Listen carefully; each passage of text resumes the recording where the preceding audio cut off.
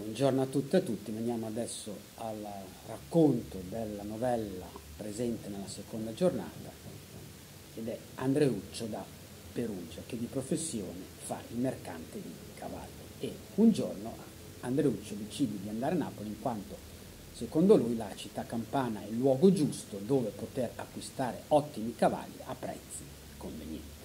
Una volta giunto a Napoli Andreuccio comincia a trattare con i mercanti per acquistare dei cavalli e nella trattativa mostra a più riprese di essere un ricco mercante in quanto fa vedere che ha tanti fiorini d'oro. In questo modo però attira l'attenzione di una giovane siciliana molto avvenente, molto attraente, la quale a un certo punto si accorge che il giovane umbro viene riconosciuto da una, certa, da una persona anziana che è stata la nutrice di Andreuccio. E dopo che la nutrice ha salutato il giovane Umbro viene raggiunta dalla bella siciliana col preciso scopo di carpire preziose informazioni al fine di raggirare Andreuccio e impossessarsi dei fiorini d'oro.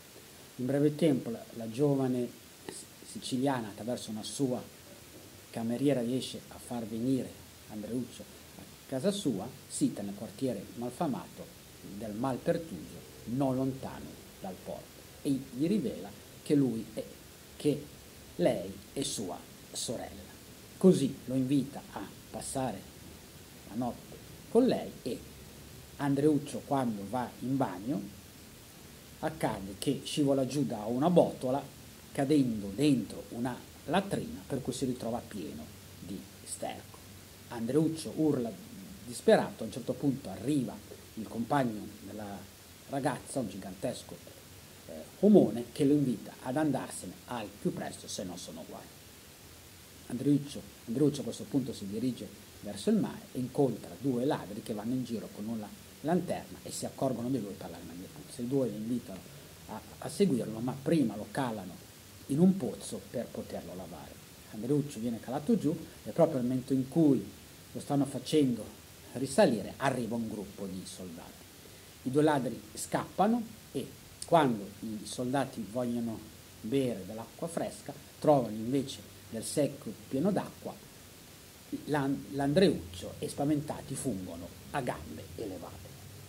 Poco dopo ritornano i due ladri che conducono Andreuccio nel Duomo dove è stato seppellito dentro un sarcofago Filippo, l'arcivescovo Filippo Mutolo. Lo scopo è di rubare i ricchi ornamenti ma soprattutto il prezioso anello con un robino incastonato. I, I, due ladri costringono Andreuccio ad entrare nel sarcofago, il quale però si lega al dito l'anello mentre consegna il pastorale, la croce d'oro e la mitra. I due ladri gli chiedono soprattutto dell'anello, ma Andreuccio risponde che non lo trova. I due allora chiudono il sarcofago con dentro Andreuccio disperato e scappano via.